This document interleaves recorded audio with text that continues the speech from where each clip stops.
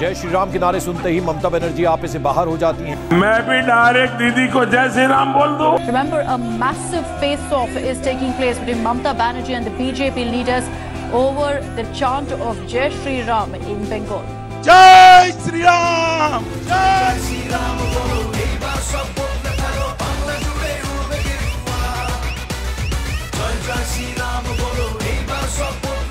জয় শ্রীরাম ধ্বনিটা রামের যে ঐতিহ্য, তার সাথে কোনো মিল নেই।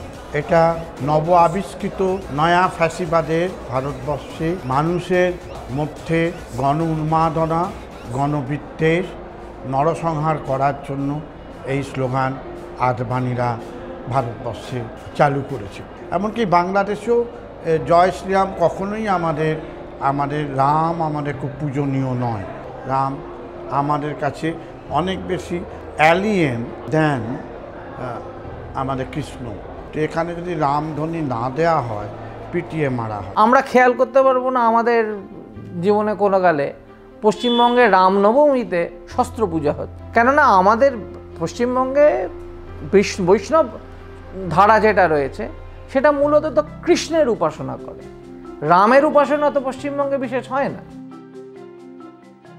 উত্তর ভারতে যে ধরনের হিন্দু সাম্প্রদায়িক মতবাদ বা যে ধরনের দাবি, যেটা উত্তর ভারতে অনেক বেশি এখন প্রতিষ্ঠিত, সেই ধারণাগুলো, সেই কথাগুলো, সেই স্লোগানগুলো এখন পশ্চিমবাংলায় এসেছে। এগুলো কোনোটাই বাংলা নয়।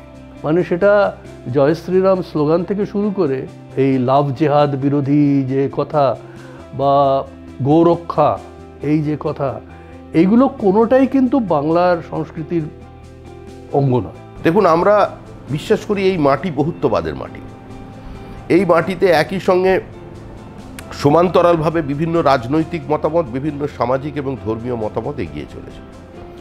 এই মাটি একদিকে যেমন রবীন্দ্রনাথ রামকৃষ্ণ, বিবেকানন্দের মাটি, কেশব সেনের মাটি, বিদ্যাসাগরের মাটি, আবার একই সঙ্গে শেখ ওয়াজেদ আলী শেখ সঈদুল্লাহ সৈয়দ মুস্তফা আলী, সৈয়দ মুস্তফা সিরাজ, এমনকি আবুল বাসারের মাটি। দি ল্যান্ড অফ প্লুরালিজম আজকে যিনি এই পশ্চিমবঙ্গটাকে তৈরি করেছেন, যিনি পার্লামেন্টে দাঁড়িয়ে বলেছেন, দীপ্ত কণ্ঠে যে আমি পাকিস্তানকে ভাগ করে দিয়েছি, সেই শ্যামাপ্রসাদের দেশের মানুষ। আমাদেরকে ভোট না দিতে পারেন। আমাদের বিরুদ্ধে পতাকা নিয়ে আন্দোলন করতে পারেন, কিন্তু বহিরাগত তকমকে, তকমাকে কোনো সুস্থ, স্বাভাবিক লোক মেনে নেবে না। আমাদের পশ্চিমবাংলার যে একটা হাজার, দেড় হাজার বছরের ঐতিহ্য আছে যে হিন্দু, মুসলমান তারা একই সাথে পাশাপাশি বসবাস করেছে। লালন আমাদের এই বাংলারই মানুষ, নজরুল আমাদের এই বাংলারই মানুষ। তো বাংলার এই যে একটা সহাবস্থানের সংস্কৃতি সেটা, তো একটা দীর্ঘ ঐতিহ্য আছে। সেটা যদি নষ্ট হয়ে যায়, তার চেয়ে সেটা নষ্ট হওয়ার একটা প্রচণ্ড আশঙ্কা আছে।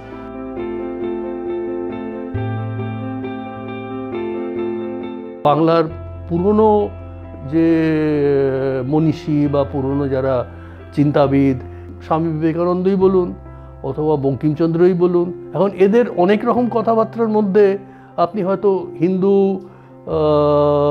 রাজনৈতিক একটা কোনো প্রচারের হাতিয়ার নিশ্চয়ই পাওয়া যাবে। এখন যদি এই দাবি করা হয়, যেটা দাবি করার চেষ্টা হচ্ছে, যে এদের কথা আসলে বাংলা ভুলে গিয়েছে, আমরাই এদেরকে নতুন করে বাংলার সঙ্গে পরিচয় করিয়ে দিচ্ছি, এটাই তোমাদের আসল ঐতিহ্য।